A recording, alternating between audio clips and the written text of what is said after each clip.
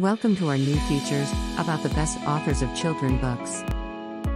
Jerry Pinkney was born on December 22, 1939, in Philadelphia, Pennsylvania. Pinkney struggled with school early on due to dyslexia. His love for drawing and art started early in life, and his mother encouraged his skills by signing him up for art classes.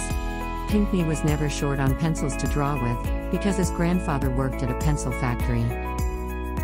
Pinkney's first job as a teenager was working at a newspaper stand. He would pass any idle time by drawing people passing by or waiting in lines. Eventually, Pinkney caught the eye of a cartoonist, John Liney, who showed Pinkney that art could be a viable career option for him. He attended the Murrell Dobbins Vocational High School and obtained a full scholarship to the Philadelphia Museum College of Art. He later left the college after a few years in order to start a family with his wife, Gloria. Pinkney started working for a greeting card company in 1960.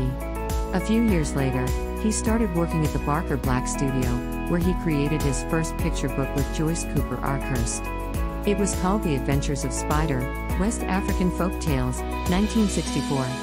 About four years later, he was able to open his own art studio. During the 1970s, Pinkney worked for the United States Postal Service by designing stamps for the Black Heritage series. He also worked with National Geographic and the National Park Service by collaborating on the topic of the Underground Railroad. Pinkney has won many awards, including the Coretta Scott King Award and Caldecott Medal honor for his illustrations in Mirandy and Brother Wind, written by Patricia McKissack. He loved taking familiar stories and providing a new perspective on them. Many of the stories he worked on were fables and fairy tales. He said I have illustrated over a hundred children's books.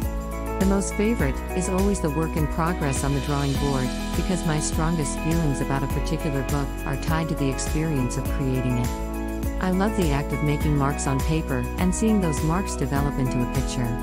My intent and hope is to lead the viewer into a world that only exists because of that picture. Many of these speak to my culture, while other works are based on my experience of being black in America. We strongly encourage you to check out the books he wrote and illustrated himself, as well as his collaborations with other authors.